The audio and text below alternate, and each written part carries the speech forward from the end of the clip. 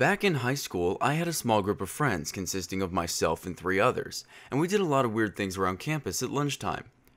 For the most part, we just walk around at lunch, but there were some really strange days. One day, I was walking with my friends and I told them that I needed to go take a bathroom break. Well, one of them, named Gage, told me that he was going to follow me into the bathroom. I looked at him and said, You better not follow me into that bathroom, you freak. And I walked in.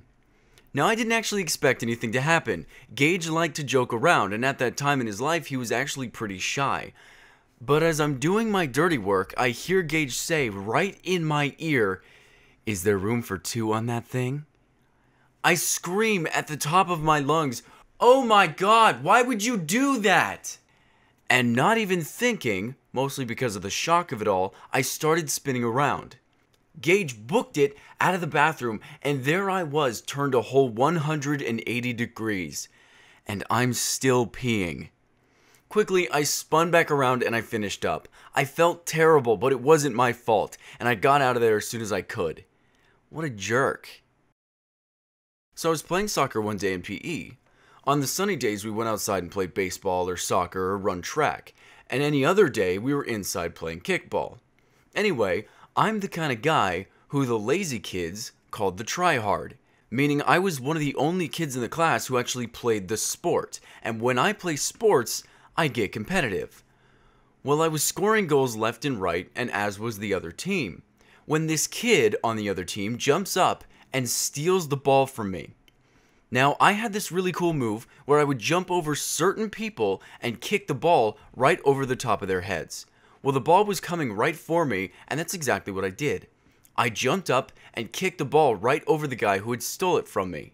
So he does it again. So I run up to him and I go to kick the ball.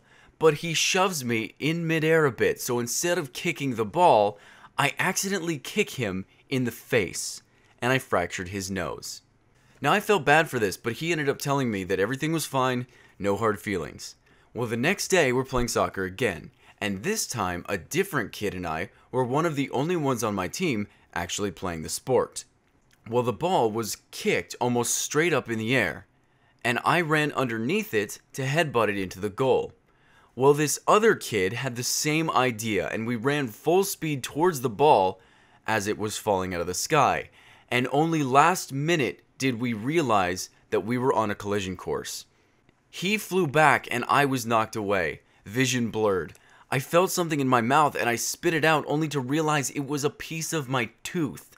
I felt around with my tongue, making sure it wasn't a front tooth, and luckily for me, it was the back part of my molar. I still feel pain sometimes when I eat cold things.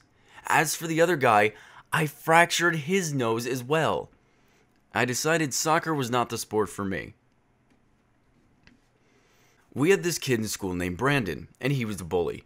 Now, I don't take to bullies well, and he and I didn't really like each other because of this.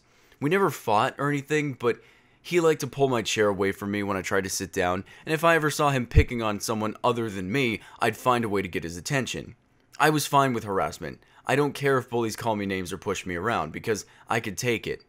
But I didn't like seeing my friends and schoolmates getting roughed up, so I tried to make myself the target. And for the most part, that was never an issue. Most of our bullies were all talk, so I only had to deal with name calling mostly, which, who cares? Anyway, we're in class and Brandon was being extra annoying. He tried pouring water in my chair so it looked like I peed if I were to sit in it. But I saw it and wiped it away and then sat down. That's when I realized our teacher was a substitute. I could definitely use this to my advantage. She did roll call and started the lesson. She talked for about 10 minutes and then handed out worksheets.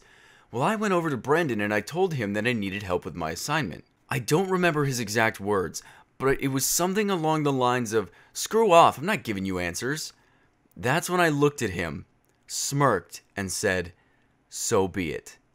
I grabbed his backpack and ran to the window of the classroom. Before he could even get out of his seat, I had thrown his backpack outside, and he flipped out and ran out of the classroom to recover his pack. The substitute was furious, and she told me to sit down. After I did, she got up in my face and asked me, What's your name, son? I looked at her with a smile and said, Brandon. She wrote the name down on a piece of paper, and the next day, Brandon got detention for misbehaving during a substitute's visit. I gotta tell ya, I felt like an action hero for that one. Bye, guys.